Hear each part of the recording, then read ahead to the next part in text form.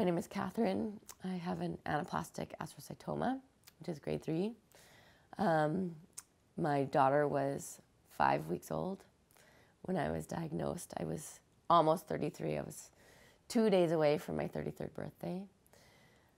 My kids are eight and five, and they're amazing children. I know every parent says that about their kids, but they truly are amazing. Originally, I was given two to six years to live.